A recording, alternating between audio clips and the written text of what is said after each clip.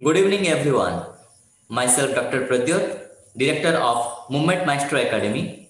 Welcome you all to our sixth e-seminar of Movement Maestro Academy on the topic of role of physiotherapist on muscular dystrophy. For today's session, we have our renowned physiotherapist from NIMHANS, Dr.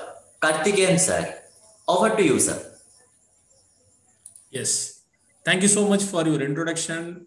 The director of Movement Master Academy, given the greatest opportunity to share my experience with the population of uh, muscular dystrophy conditions. What is the role of physical therapy? That how to manage therapeutic intervention approach. We are going to discuss right now. Sir, is it visible? Pradyot sir? Yes, sir. Yes. Yes. Uh, thank you so much, uh, the Movement Master Academy, given the opportunity to share my experience with Duchenne muscular dystrophy survivor. So, what is the physical therapy role in the area of muscular dystrophy? How to manage in physical therapy intervention approach? How we can deal with the patients of muscular dystrophy conditions? There was a various types of muscular dystrophy we used to see in our hospital before that how the system which is working at NIMHANS. When somebody coming with the symptom of muscular dystrophy, they should reach our hospital. There is a screening. Some of the medical doctors, they will evaluate, followed by if the condition related to neurology, then they will refer to neurologist. If the condition is relevant to surgical intervention approach, they refer to neurosurgeon. If the condition related to psychosomatic or psychiatric symptom, they refer to concerned psychiatrist. So the, we have six days OPD, rotational basis. Some of the professor and senior consultant, they working as a head of the, that particular area. And in NIMHANS we have, there is a special clinic which is operated by one of the expert neuromuscular expertise. The, uh, the, uh, the, the expert name is Dr. Nalini Madam. She, is, uh, she has undergone some of the fellowship and she earned a degree in the area of muscular dystrophy. She is the head of the muscular dystrophy clinic. So in, in her uh, supervision, there was a team which is working for the management of the muscular dystrophy. The management, the expertise, physiatrist is there, physiotherapist is there, occupational therapist is there, orthotist is there, then speech pathologist is there, psychologist is there, then social worker. There was a comprehensive care is required to manage the muscular dystrophy. Now we come to what is the role of physical therapy? Physical therapy means it is a systematic method of assisting cardiorespiratory, musculoskeletal, neurological, including pain and psychosomatic disease to prevent illness by the way of manual therapy and physical ability. So what is the interrelation? We are the, the physical therapist also called as exercise specialist.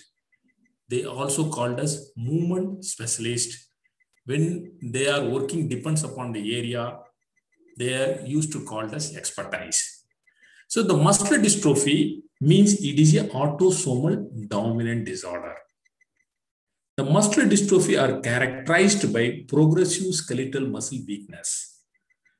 There was a defect in the muscle protein and the death of the muscle cell and tissues we can able to identify through gene test the French neurologist who identified this disease, that's why this disease name is Duchenne muscular dystrophy.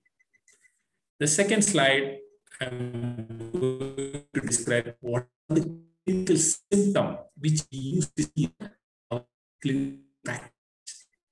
One is the progressive muscle wasting, which occur in the upper extremity and lower extremity, mainly the proximal muscle which get weakness and wasting.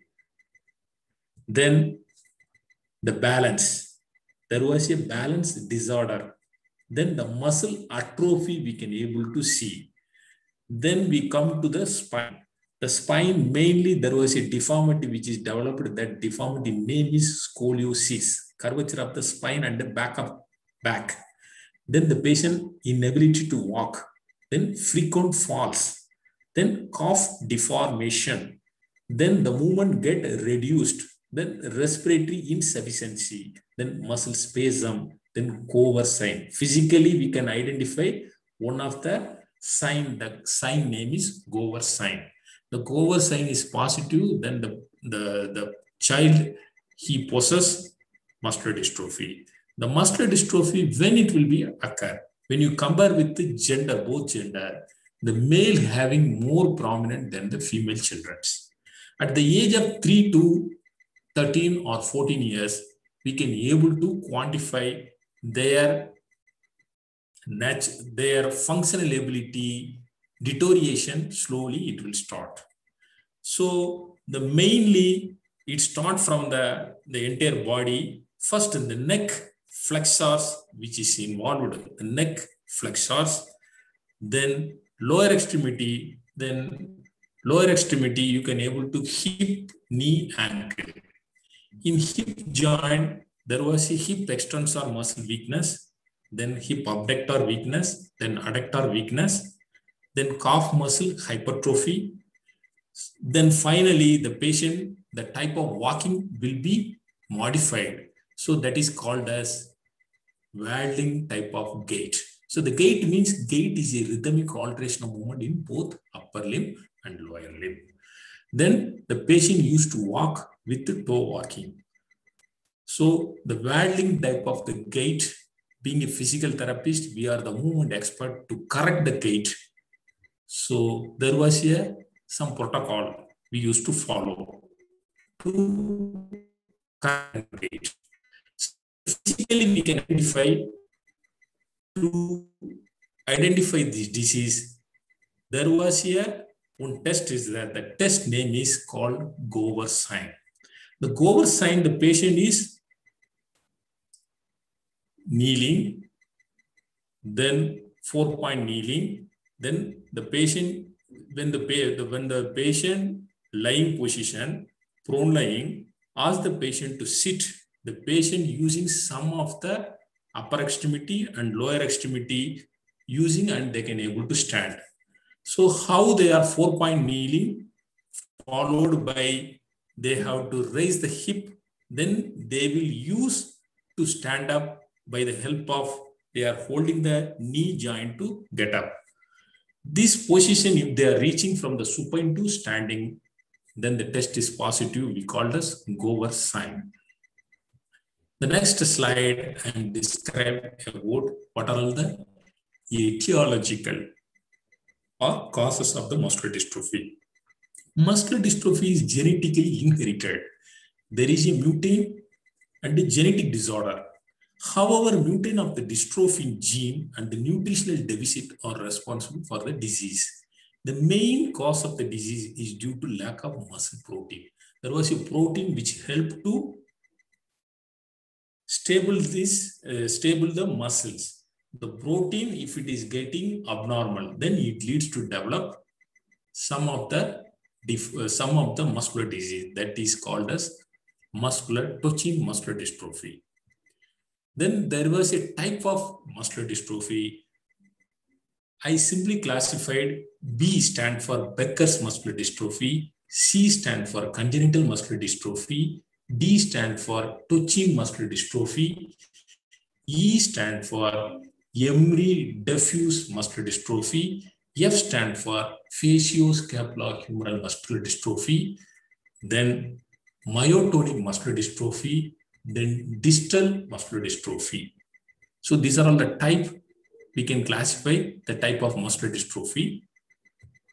Then diagnosis, either physically being a physiatrist, being a physical therapist, both they have used one tool to identify that is called Gower sign. So when we ask the patient to prone to st standing, how the patient is standing position is coming, they have to go for four point kneeling followed by the hip raise four point kneeling. Then they will use their own extremity, upper extremity. Then they help by the help of upper extremity, they try to come to standing.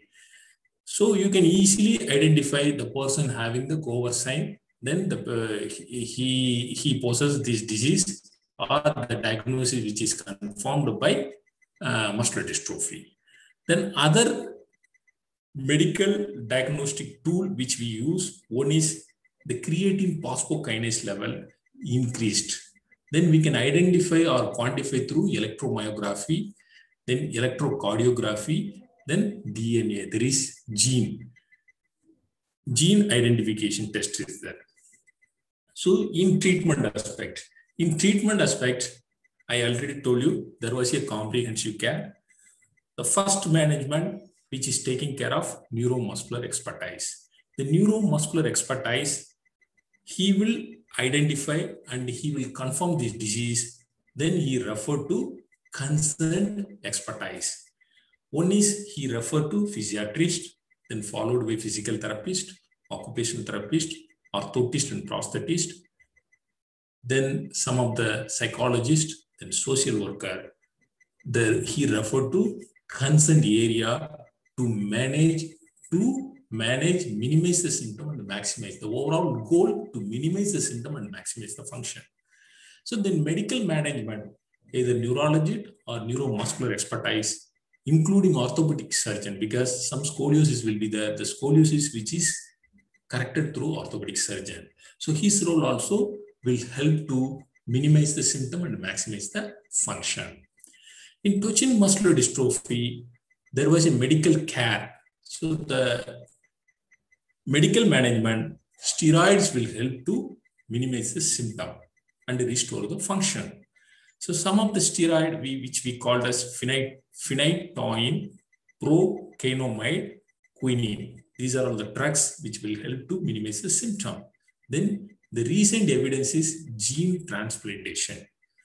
To remove the gene and reinsert, some of the research is going on. Still, there was no evidence not yet come. It is under investigation. Then physical therapy. I already told physiotherapy means we are the movement expert. We make the patient to walk independent. The main goal to make the patient to walk independent, to correct his gait, to correct his balance, to correct his posture, to correct his functional ability, to improve the functional capacity. That is the technique which we used. So assessment purpose, we called as SOAP, subjective. SOAP means S stand for subjective, O stand for objective, A stand for assessment, and P stand for planning of the treatment. So physical therapy, what are all the things? We are taking care of the muscular. So when the muscles, so MMT, we need to assess upper extremity, then lower extremity. There is MMT, one scale is there, Medical Research Council. So they classify into five category. Zero, no muscle contraction. One is flicker of contraction. Two is full range of movement with equalizing gravity. Full range of movement with against gravity. Against gravity with resistance is four. Fifth one is normal. On the basis of muscle muscular impairment, we quantify. Then we can prescribe some of the protocol. If the patient is completely bedridden, then he need passive of motion. If the partially the patient is so active assisted, some little more strength is there, then assisted resisted, then some strengthening exercise, which will help to improve the strengthening and uh, improve the flexibility of the muscles. So the, the I already told you waddling gait. So the gait is a rhythmic alteration of movement in both upper limb and lower limb. So the patient having with after five years, he may develop some of the gait impairment. The gait impairment, when you see from the upper extremity to lower extremity, the neck should be flexors. Then shoulder abductors. Weakness. The weakness will be in shoulder abductors, elevator, protractors, then shoulder flexors. This is a weakness of the uh, Duchenne muscular dystrophy. Then lower extremity, hip extensor, hip abductors, and adductor weakness will be there. The patient dorsiflexors weakness will be there. So foot drop will be there. So we need to quantify the functional ability. So before that, if the deformity is developed, then to correct the deformity, if the spine, abnormal spine, especially some of the uh, spinal deformities there, we can correct it through spinal brace. Then the shoulder and the lower extremity. The lower extremity we can correct it through one device which we called as HKAFO. H stand for hip, K stand for knee, A stand for ankle, then foot orthosis. This will help to give the complete strength to the lower extremity and it will correct the gait of the waddling type of the gait. It will correct it through these braces. Then some of the breathing exercise. So sometime the heart also influence, then cardiomyopathy will be there. So the cardiologist will taking care. Then some respiratory complication, which is managed through some of the exercise protocol. What are all the exercise? The mainly one device we call as incentive spirometer, then deep breathing exercise, then Buteyko breathing exercise. These are all the exercise which will help to restore and restore the respiratory function as well as it will help to minimize the symptom and maximize the respiratory complication and uh, minimize the symptom and maximize the function of the respiratory, respiratory system. Then there was a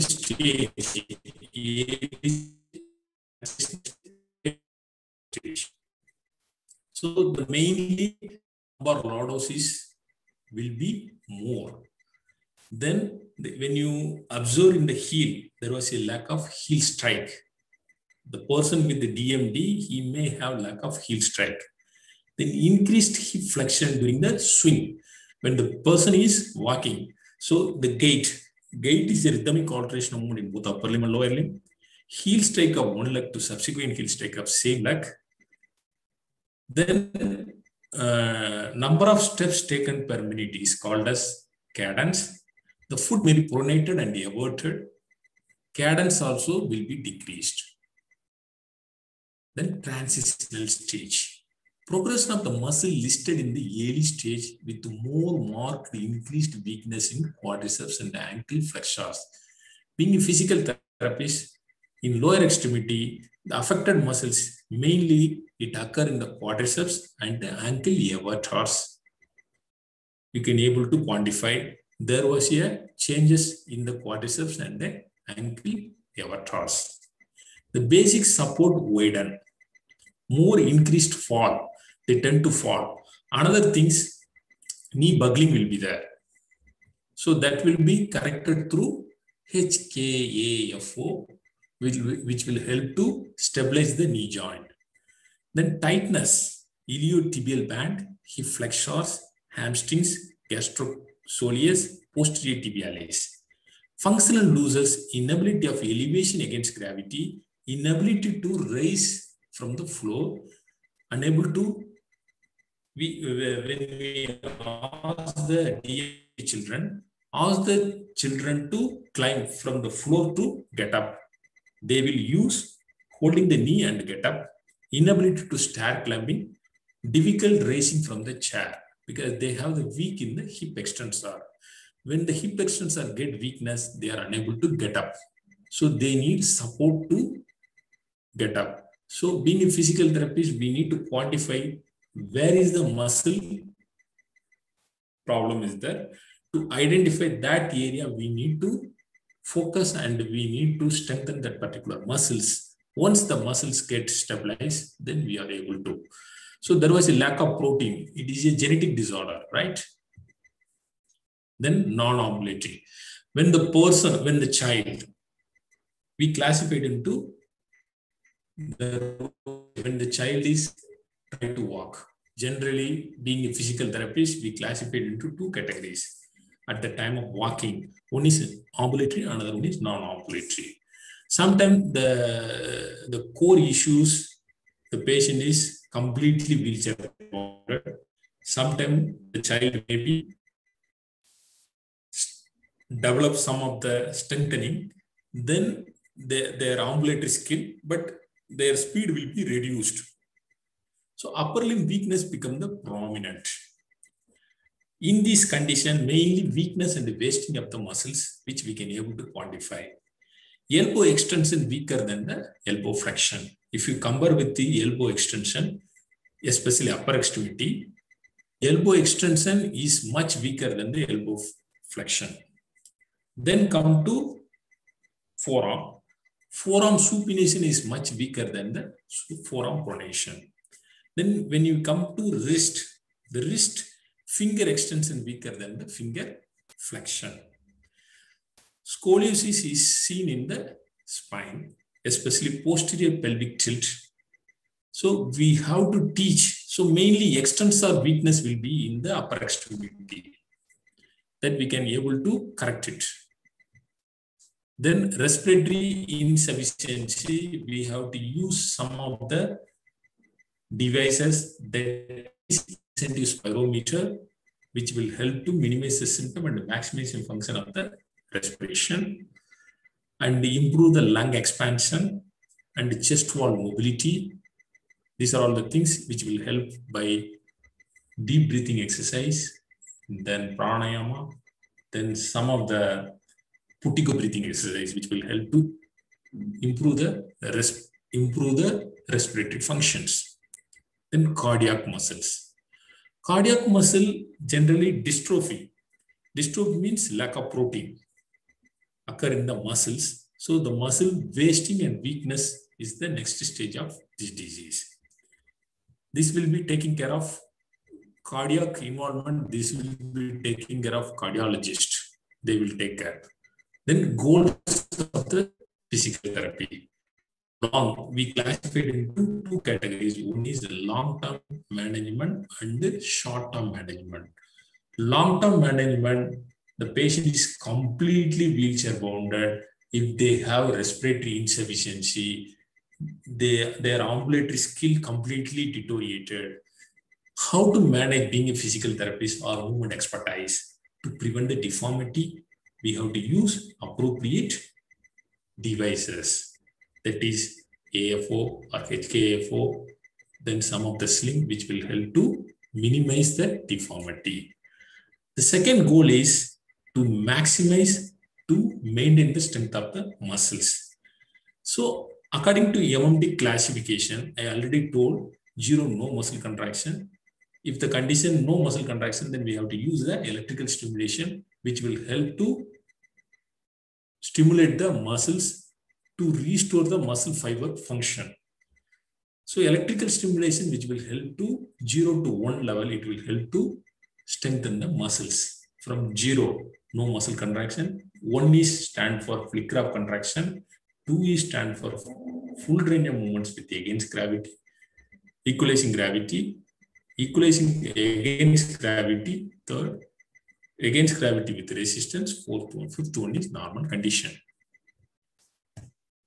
Then short-term goals. This is a long-term, the wheelchair bounded. The patient ambulatory skill is there. they have less respiratory insufficiency. We can manage and we can assess and we can manage through physiotherapy skills to increase or maintain range of motion, to increase or maintain strength and endurance, to promote optimal body alignment, to maintain sitting ability, to strengthen or maintain respiratory muscle endurance, to establish and monitor home program to promote relaxation and comfort. So there was a relaxation exercise that is called as Jacobson PMR, progressive muscle relaxation. It will help to give the complete relaxation to the body. So that is called as progressive muscular PMR, progressive muscle relaxation. Then biofeedback, autogenic training. These are all the exercises will help will help to make the patient in the relaxed position. Then next slide. Being a physical therapist or movement expertise, we need we have the capacity to assess. One is range of motion. Another one is manual muscle testing. Then respiratory insufficiency, which we can assess through the vital capacity through spirometer.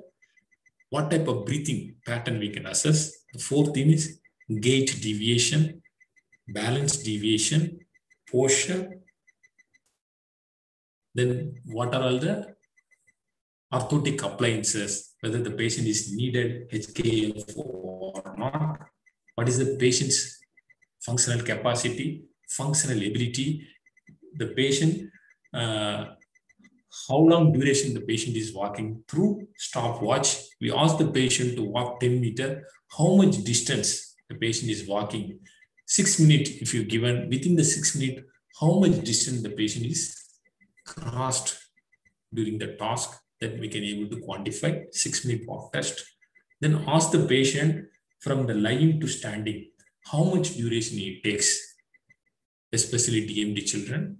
We make the patient to ask the patient to start climbing during the time duration can be assessed. Then PT management, we classified into three categories. One is early stage, transitional stage. The last one is residual paralysis stage. The early stage, what are all the support the patient is required? One is we have to educate the patients. This is a genetic disorder.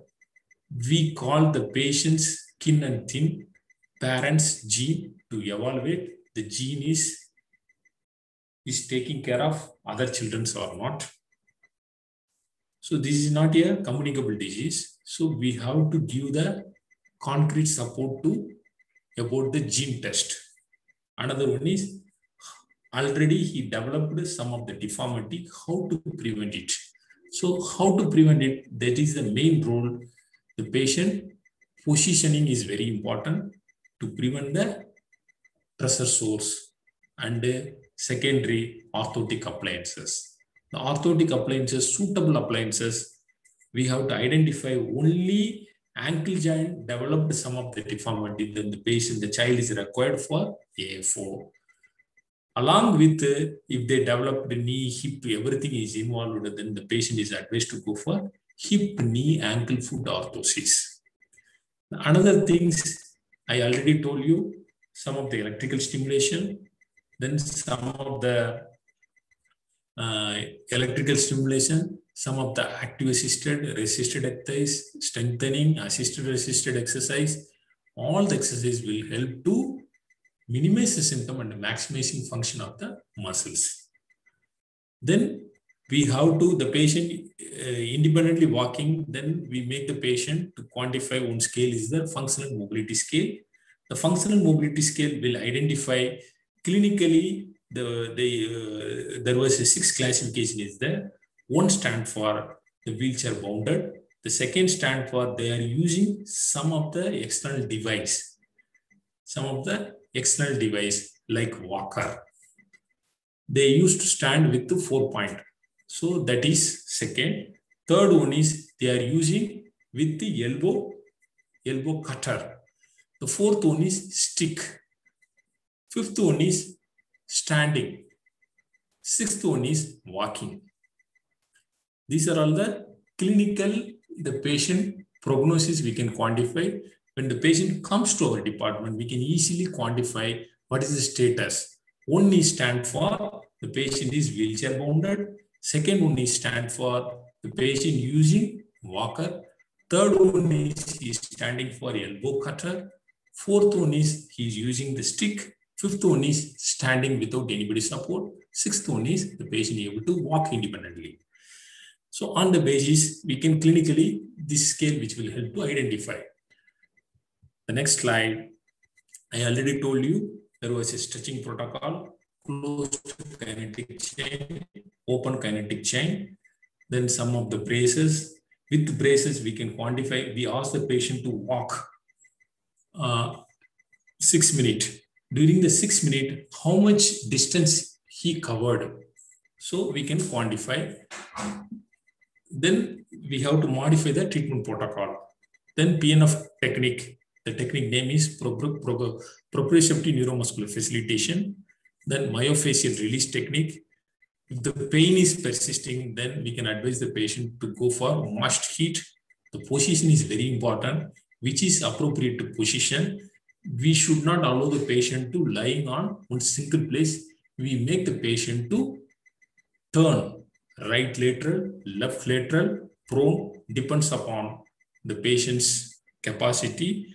And uh, we have to use the positioning. We are using some of the pillow, some of the foot, foot splint, which will help to minimizing this, uh, to prevent the deformity, to prevent the ulcers, skin ulcers, pressure sores. Then transitional stage, then some of the hydrotherapy. We have to advise the patient, ask the patient to walk stair climbing. The patient should not come down. When the patient, when the child is asking to walk stair climbing up, not for stair climbing down. Then the deformity is developed and HKA will, will reduce the deformity, then spinal brace to correct the scoliosis. So these braces which will help to, this called as, it will cover from the hip to ankle to prevent the deformity of DMD children's. This spinal brace which will help to prevent the scoliosis deformity. Then respiratory insufficiency, we have to use the spirometer to improve the lung capacity, then deep breathing exercise, then Buteyko breathing exercise, pranayama for yoga, all will help to improve the respiratory functions. Then surgery, there was a spinal surgery, segmental stabilization, which will help to restore the spinal, especially to correct the scoliosis. Then come to our physical therapy point of view there was a research outcome which will help to identify the prognosis. One is six minute walk test. We ask the patient to sit in the chair. We have to use the stopwatch. During the six minute, how much distance the child was covered. This is here at the time of admission. If the patient ambulatory skill is good, then we have to give some of the exercise protocol. One is depends upon the uh, MMT. One is we can give the patient for electrical stimulation. Then with, with the help of braces like HKFO, without braces, both we can combine. This is one of the unique outcome to assess the functional ability of the DMD children. Another important outcome is we call as NS A squared, North Star Ambulatory Assessment. This is the significant tool to assess the ambulatory skill, especially lower extremity. Then pull, performance of upper limb. Then another time taken to raise from the floor. Then we ask the patient to sitting to standing, how much duration the, uh, the child was taken. Ask the patient to stair climbing, how much duration the child was taken that we are going to. So these are all the main things which we discussed, especially touching muscular dystrophy So this is a very unique area to deliver our skill, to improve our skill, lot of research work which is going on. This kind of patient is required, especially comprehensive care.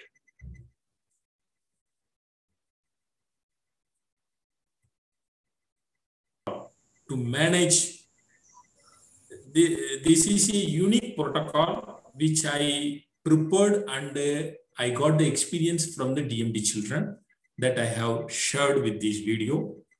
I really are and I my sincere thanks the Movement Maestro Academy who given the greatest opportunity to share my knowledge and experience with DMD children. So my sincere thanks to Movement Maestro Academy director and uh, his team. Hope you can understand the way of treat treatment. So this is a very short span of time. The SAR was given the time to deliver my lecture. I hope you can understand. If you feel any kind of specific protocol, there was a various modalities or various devices which is available, especially the medical, Uh, the gene test to identify the disease. And physically, being a physical therapist, we can be able to quantify that is called as Gower sign. Another things in NIMHANS, we have one specialized machine. That machine name is GAITRite system. How the gait changes, especially heel strike, foot flat, mid stance, heel off, acceleration, mid swing, deceleration, that will exactly quantify through machines because the sensor is connected with the foot plate. We ask the patient to walk at the time of admission, then the physiotherapy protocol continued one month. At the end, we can re-evaluate how much the progress, improvement or prognosis happening in the DMD children. We can quantify especially in gait. And we have the body weight support treadmill system. Then we have the DST, dynamic Start trainer. This will help to adjust your racing on the foot, especially how much you are able to lift. This will help to adjust your foot steps, especially. The steps will adjust by the DST. So the electrical stimulation. So some of the comprehensive, it's not only for physical therapy, some of the comprehensive care is required to manage the DMD survivor. The comprehensive care consists of neuromuscular expertise, then physiatrist, orthopedic surgeon, physical therapist, occupational therapist, orthotic, speech pathologist and audiologist, and uh, social worker, psychologist. The entire has the team has to work to minimize the symptom and maximize the function of the this DMD survivor. Thank you so much, sir. Hello. Yes, sir. Yes, sir. Thanks a lot for sharing your valuable knowledge and experience on your practice. Yes, sir. Definitely, this will gonna help a lots of professionals and students in future Yes. for their uh, in their Yes. practice of patients. Uh, thanks a lot, sir. Yes. And, If uh, thank, thanks a lot, sir. If anybody having any doubt, kindly uh, ping me. I prepare to answer the any questions and answers. Yes, sir. Thank you so much for giving the opportunity, sir. Definitely. Thank you. All the Good participants, we are open. Uh, we are completely open anytime. You can ask any doubts and any help from us on your practice, on your knowledge. Okay. Thank Yes, you, sir. everyone. Thank you so much, sir, for sharing your valuable day. knowledge. Good night. Good day. Good night, sir. Thank you.